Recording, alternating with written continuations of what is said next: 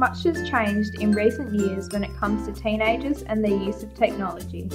Many of today's teens spend most of their time with their faces buried in a smartphone or gaming device.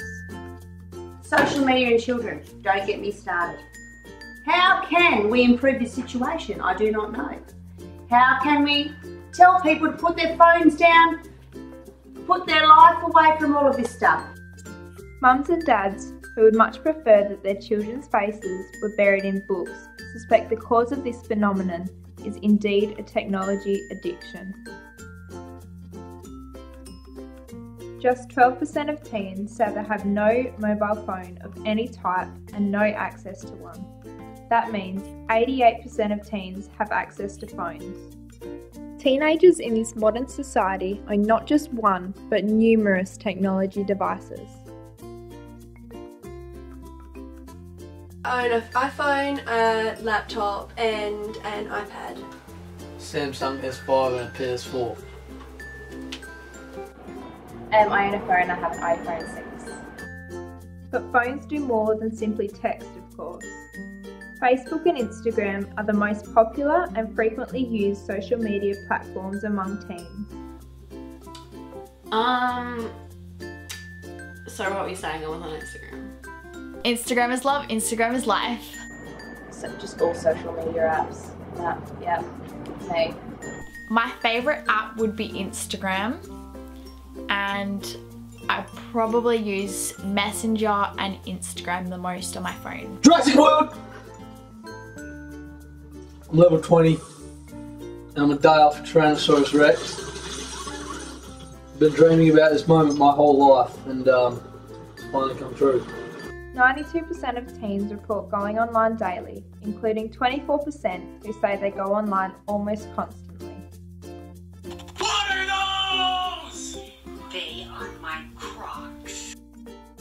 Teens now have many more options when it comes to technology, so it makes sense as to why they use it so often. I don't know, 36 hours a day. Every day. A lot. At the time. I use my phone quite a bit um, to call people and stuff, like quarter of the time of the day. 71% of teens use more than one social networking site. Teens have missed so many opportunities and experiences due to being constantly obsessed with technology. I was at a One Direction concert and I was Snapchatting and when the Snapchat finished I went to go put it up and I was too busy looking down at my phone and Harry took off his top and I missed it so opportunity lost. Um, I think I don't know. I'm oh, I was back in England at Christmas and I was on my phone messaging my friends here in Australia and my cousin told everyone that she was pregnant and I missed that. and I was like, what? yeah. Text, text, text. That's all they think about. But are all those hours on the phone and Facebook turning teenagers into screen enslaved social inadequates? Personally, I think teenagers use their phone too much. Every time they go meet up with a friend, they're just on their phone. It's like, you're meant to be communicating. Communication is the key. Like, talk to your friend, they're right there. That's the whole point you went to the house, not to look at Instagram or Facebook all day, okay? Yes, I do. Like we're always on them.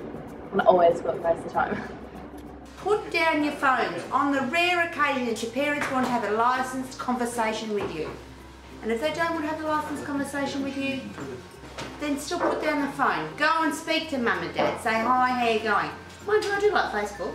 As if generally spending their waking hours welded to the phones wasn't enough. This problem has gotten so severe and harmful to teenagers over the past few years that there are now several advertisements, documentaries, and YouTube videos persuading people to limit their technology use. This media we call social is anything but when we open our computers and it's our doors we shut. Stop it!